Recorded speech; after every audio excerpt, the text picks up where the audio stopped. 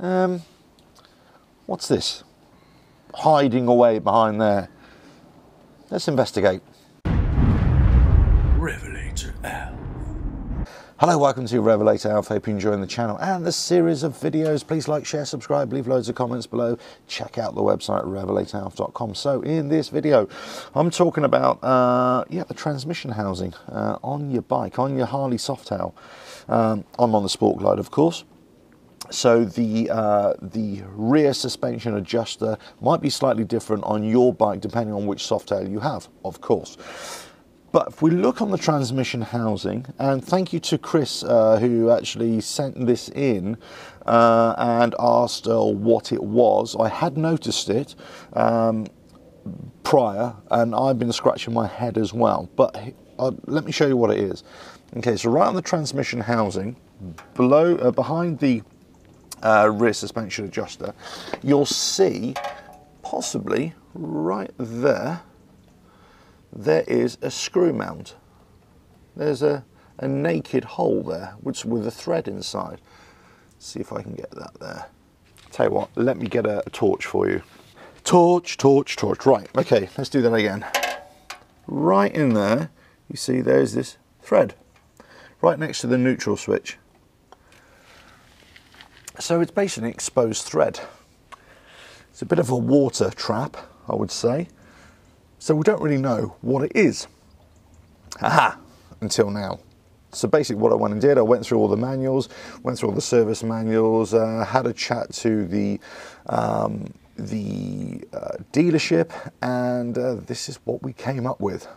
Okay, so what we found out is that this thread here uh, it serves no purpose at all, but it depends on which market you're in, where the bike is being sold. Okay, so in different markets, they may have an extra oil feed uh, to the transmission, an oil pipe. And basically, that isn't a, uh, a, pipe mounting, that's a bracket mounting for something else. Um, so it really depends where you are in the world. if your bike has something attached on this right hand side. So here's a question for you guys. Wherever you are in the world, have a look at your Sport Glide on the right hand side. Behind the rear suspension adjuster next to the neutral switch and see if anything is attached to it. If you let us know in the comments where you are in the world, what market you're riding your bike in, and if uh, there's actually something attached to it. So here in Europe and in Great Britain especially, but in Europe there's nothing attached to it. So for me, I, I would say that that needs to be covered up. I would say because it's a water trap in my opinion.